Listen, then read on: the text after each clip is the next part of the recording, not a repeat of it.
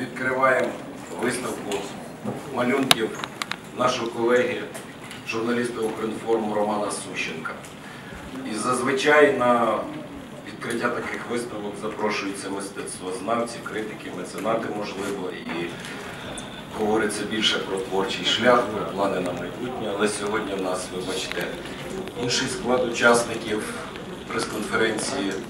Це зрозуміло. Два роки вже минуло з того дня, коли нашого колегу затримали в Москві. За цей час вже винесено вирок. І сьогодні мова не про творчі плани, очевидно, більше йтиме, а про долю людини, про долю інших людей, які перебувають в Росії сьогодні, про долю країни.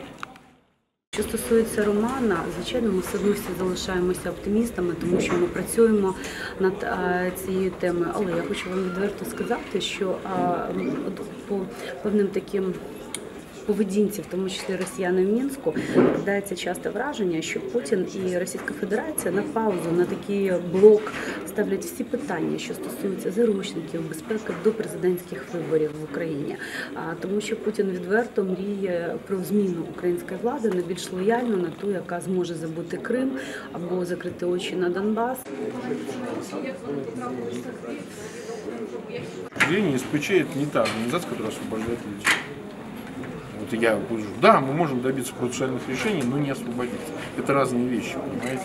К сожалению, Россия же заблокировала, так сказать, возможность изменения устава, ну, точнее, самой э, статьи конвенции, которая позволяла бы в ускоренном порядке это все рассматривать. Ну, в течение полугода-года. Выполнять никаких решений СПЧ. И единичный случай, когда Россия исполняла процессуальную часть решения СПЧ. То есть Романа, например, признает невиновным, в отношении него приговор незаконным, но это не значит, что его сразу выпустят. Решение СПЧ. Потому что они могут снова дело рассмотреть и по другим основаниям вынести то же решение. Поэтому я считаю, что Романа освободят в результате обмена. Только эти усилия могут дать результат.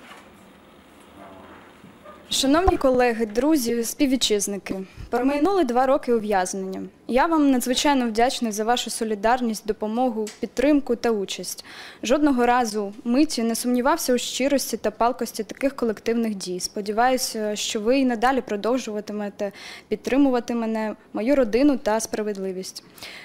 Вірю у щасливе розв'язання ситуації, у якій опинився, постійно відчував підтримку української влади, нашої держави, уряду, президента, громадської спільноти та простих людей. Низький уклін вам до зустрічі у Києві. 3.10. Роман Сущенко Лефортово.